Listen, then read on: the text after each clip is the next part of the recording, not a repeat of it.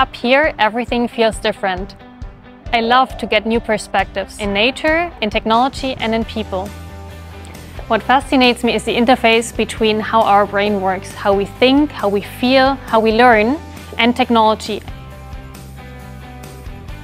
To me, AI isn't about replacing humans. It's actually about elevating human potential. It can be the bridge between imagination and innovation, and it helps us turning ideas into reality. My journey took me from startup to IBM and now to TRUMPF. What do all those places have in common? I think it really is the drive to shape the future, leveraging AI to really make an impact. At TRUMPF, I'm leading AI globally.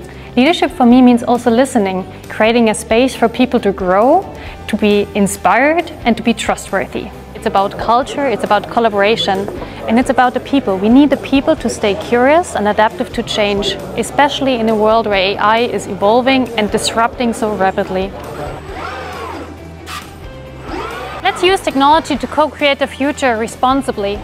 And now, are you curious to hear more about how we apply AI at TRUMPF and how we create AI-powered products and services? Stay tuned.